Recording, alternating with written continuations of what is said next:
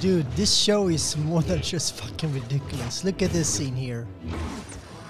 He just bonks his head at the lightsaber for no reason at all, which looks so fucking ridiculous.